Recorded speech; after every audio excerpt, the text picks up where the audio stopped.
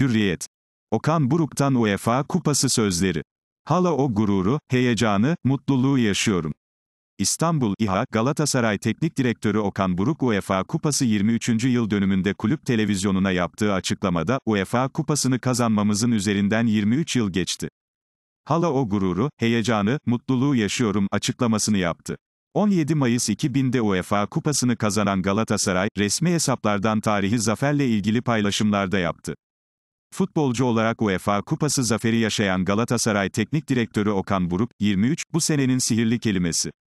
Hem 23. şampiyonluk hem de 2023 Cumhuriyet'in 100. yılı. UEFA Kupasını kazanmamızın üzerinden 23 yıl geçti. Hala o gururu, heyecanı, mutluluğu yaşıyorum şeklinde konuştu. Gurur duyulacak bir kupa. UEFA kupasını kazanmanın büyük bir gurur olduğunu söyleyen Buruk, 23, bu senenin sihirli kelimesi.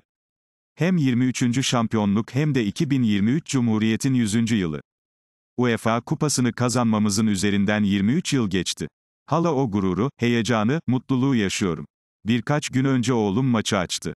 Görüntüleri izledik beraber. Aynı heyecanı yaşadım. Aynı gururu duydum. Sadece kazandığımız için değil oynadığımız oyun da çok güçlüydü. Kaçırdığımız pozisyonlar, Tafarel'in kurtarışı. Gurur duyulacak bir oyun ve gurur duyulacak bir kupa kazanmışız. Onun mutluluğunu hala yaşıyorum ifadelerini kullandı. Penaltılarda biz daha iyiydik. Arsenal ile oynanan finalde saha içinde yaşananları anlatan genç teknik direktör, dua ediyoruz, bir yandan pozisyon pozisyon yere düşüyoruz. Ayak parmağım kırıktı, 80. dakikada oyundan çıkmıştım. Ayakkabımı çıkardım, üstüne basıyorum. Yere yatıyoruz, kalkıyoruz. Dakikalar bitmiyor. 10 kişi kaldıktan sonra da rakip kaleye gittik.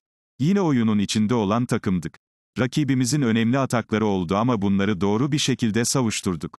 Penaltılara taşıdık, penaltılarda iyi olan bizdik, sözlerini sarf etti. İnşallah yine kazanırız. Buruk, sözlerini şöyle tamamladı, biz sadece final için değil, o kupa yoluna girdikten sonra Türkiye'de inanılmaz bir sinerji oluştu.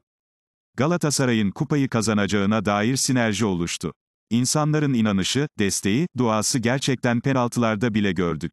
Direkten dönen toplar, bizim daha sakin penaltı atmamız, rakibimizin kaçırdığı penaltılar. Ülke olarak çok istedik o kupayı kazanmak. O kupa Türkiye'ye geldi. İnşallah tekrar gelir, tekrar biz kazanırız. Bunu çok isterim. O dönem için ne kadar önemli bir şey yaptığımızı geçmişe baktığımızda, geçen sürede de buna yaklaşamadığımız için ülke olarak, önemli ve değerli bir iş başarmışız. Anlık Galatasaray haberleri GS Haber ile telefonunuzda, Twitter ve Telegram'da. Günün haberleriyle podcast olarak Spotify ve Apple Podcast'lerde.